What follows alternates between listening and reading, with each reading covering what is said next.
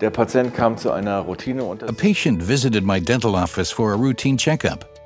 During x ray diagnosis, I discovered a cavity in tooth 1-4 that required treatment.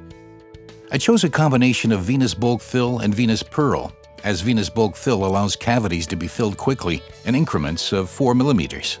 This convenient bulk fill technique helps a lot to save time for posterior restorations.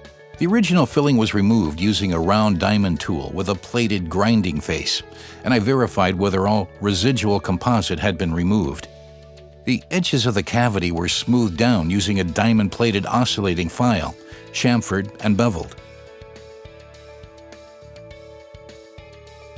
This was first performed proximally, then occlusally. The cavity was excavated using a round plastic burr in order not to damage the pulp.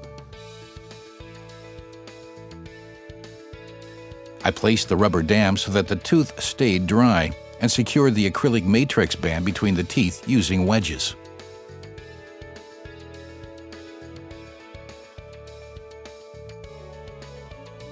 For the bonding procedure, I chose the self-etch system iBond Self-Etch, which was placed in the cavity and actively moved within the cavity for 20 seconds. Air was then blown onto the adhesive in a fanning movement, beginning in the proximal area and moving towards the center, and starting with a gentle current of air that becomes stronger towards the end. This was continued until the adhesive no longer moved and a nice glossy surface was achieved.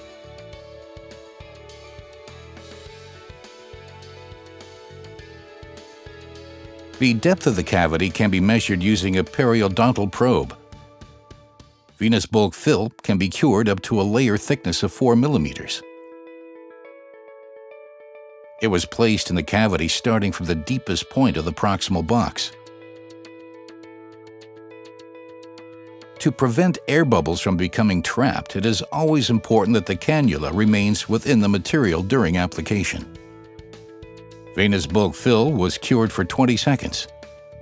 In order to establish an effective contact point, I pressed the Heidemann spatula against the matrix band and the adjacent tooth during. After curing, the material was nicely fitted to the matrix band. And, as can be seen, there was still sufficient space for the 2 mm covering layer of Venus pearl to follow.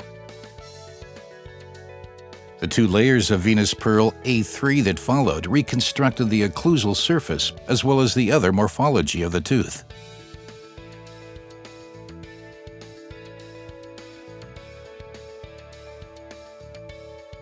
The wedges and the matrix band were removed and the contact point verified using dental floss.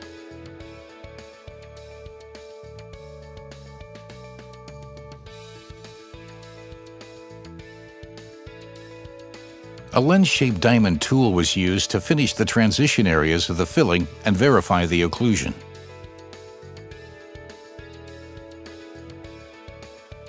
Pre-polishing was now performed using the pink Venus Supra pre-polisher, and the entire area was then polished to a high gloss using the gray Venus Supra high gloss polisher.